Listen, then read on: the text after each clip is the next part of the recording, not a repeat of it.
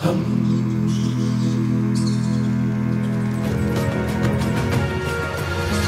guys, I'm ZSH Plays, and yes, that is a flying animal in Planet Zoo. Today we're going to use the incredible walkthrough exhibits from the new Planet Zoo Twilight Pack to build a huge aviary for the Egyptian fruit bat. So we're here on a brand new map, one of the new maps that was added in update 1.11. A massive thank you to Frontier for giving me early access to this pack. Let's jump in and start building. The first thing to say is that these new walkthrough exhibits are absolutely incredible. When they announced them, I thought they were going to be basically just an exhibit box, but bigger, with a path through the middle of it. But they are much more interesting than that.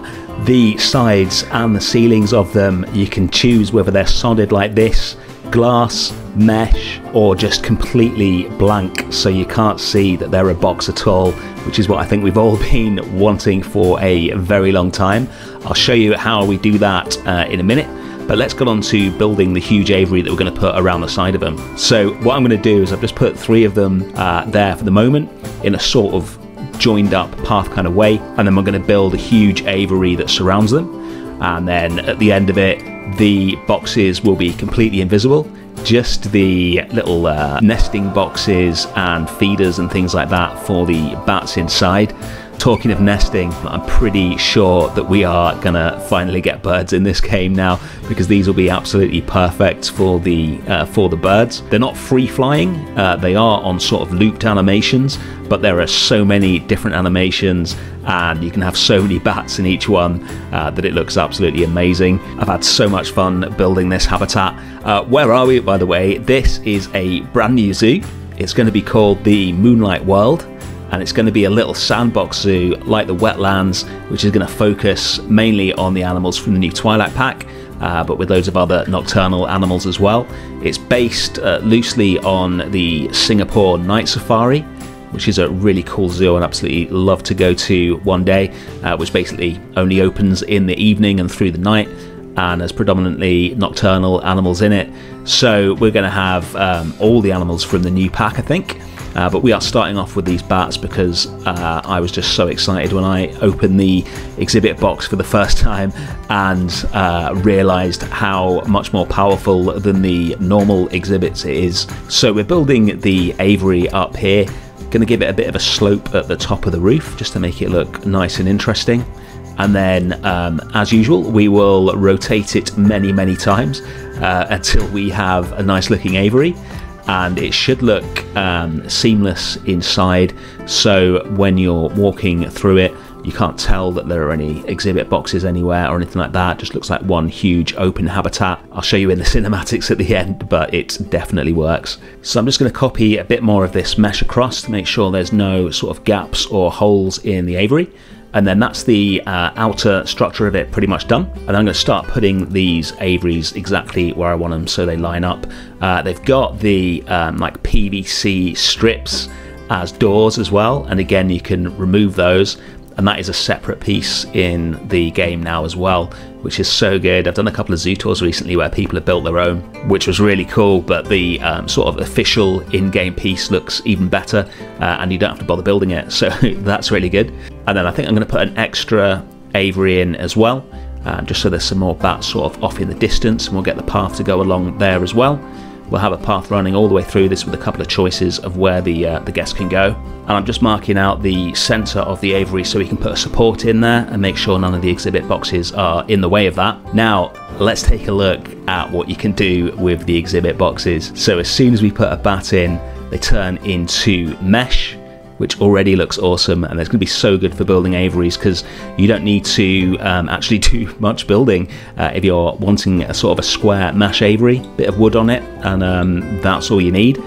But uh, let's take a look at the, the thing that got me really excited. There's a little bat now.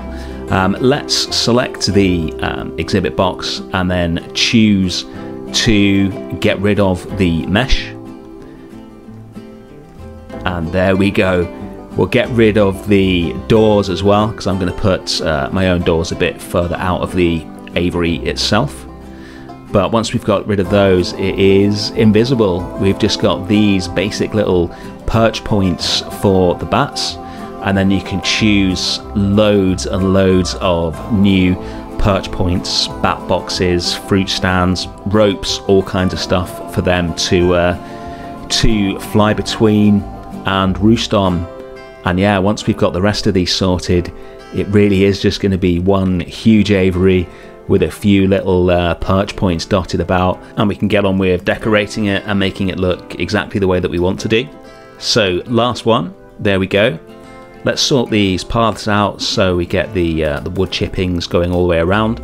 And I'm going to put another path in as well so that the guests have got a choice which way to go round and it sort of stops congestion and things like that as well. So we'll join that back up with the main path here.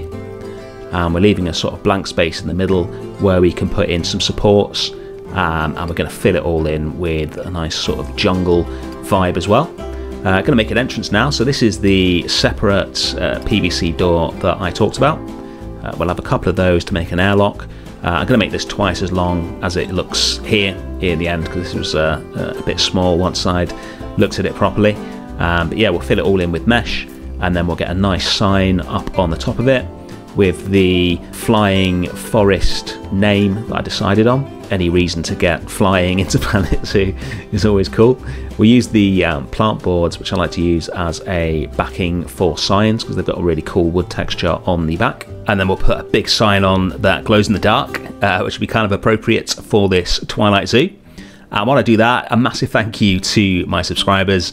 You are the reason that I've got early access to this pack. Thank you so much for watching and subscribing, as always. Uh, and if you haven't already, uh, you know what to do. And if you want to see all the new stuff in the Twilight pack, all the new animals and pieces, etc., I've got an overview video of everything in the pack, which I'll link on the screen now. Uh, I'll link it at the end as well if you don't want to interrupt your viewing. Uh, we are going to be adding the other animals into this new Moonlight World Zoo as well. Really looking forward to that. Going to have a big um, North American section in between the entrance, which I'll show you in the next episode, and this aviary. There's the sign. This is made from the glowing fonts pack by uh, Sleepy Koala Girl. It's a great little font. It's flexi color as well, so you can choose what color it glows. Looks amazing at night. Uh, but yeah, so between here and the entrance, we'll have a North American area for the raccoon and and the striped skunk. We are going to have an African area and I think a European area, maybe an Asian area. I've never really done a zoo by geography rather than by biome before, um, so I thought that would be a cool idea. And obviously, there is a lot of nocturnal species in the game now, so we should be able to make some really cool habitats in this zoo. So what I'm going to do now is start decorating the inside of the habitat. I'm just choosing which ones of the sort of pre-made pieces to use for each exhibit. Uh, we'll put the central support in as well. Uh, we're going to put one of the new Twilight Pack pieces up on the roof at the end of the video as well, um, which I think it's from like a uh, supposed to be for a sort of a spooky castle, um, but it actually looks really cool, topping off the dome of this aviary and then we'll put a load of plants in. You can see a load of foliage all the way around the background of the zoo. And like I say, I'll show you uh, the rest of the zoo as it is at the moment um, in the next episode. But I've done what I always done, which is make a little area of plants that looks really good. Um, loads of different Asian plants. Here we go. And then just drop that in and copy it all over the map, rotating it, making the odd little change so it doesn't look like it's been copy and pasted. Um, and yeah, it just really brings it to life in here. I love how big it looks, like the uh, how expansive I think is the word I'm looking for. Um, the whole aviary looks, and you really just cannot tell that there are little exhibit boxes in here. Um, I really hope they add that option to the standard exhibit boxes in the next update because that would absolutely transform using those animals. You could start having, um, you know, iguanas in outside habitats or making sort of habitats or exhibits rather that look like they're really tiny in your reptile house or whatever. But um, these, I think, will keep me busy for a while anyway. I absolutely love this bat exhibit. Uh, it's in the update as well. It's not just in the Twilight pack, although obviously you won't have any animals to put in it at this point. The pieces in it are really cool, and like I say, with the um, with the fact that it's got either mesh or glass by default, you can use it to make really simple um, implied aviaries without having to do a lot of work, which is a nice way to add some variety into your zoo. I thought I'd put a little bit of uh, a pond pond in here as well, just uh, just because it looks nice, really. Um, and IRL, I think the bats would uh, use that. They've got little water troughs which they drink from in the game, but I've seen in Africa, I saw bats dive bombing a swimming pool to have a drink. I hope it wasn't chlorinated, um, or they won't uh, they won't be enjoying that too much. Let's move on to the final stage, which is getting some lights and a few last bits and pieces in. Going to put a load of lights in. Obviously, lighting is going to be really important. This entire zoo will be set um, between sort of dusk and uh, actual nighttime, depending on you know what looks best. And that's the Flying Forest complete. Thank you so much for watching. I really hope you enjoyed the cinematics. I had so much fun building this. Um, I will see you again very soon for episode two of The Moonlight World, and there should be a new Planet Wild up by the time you watch this as well. Thanks for watching, guys. Bye.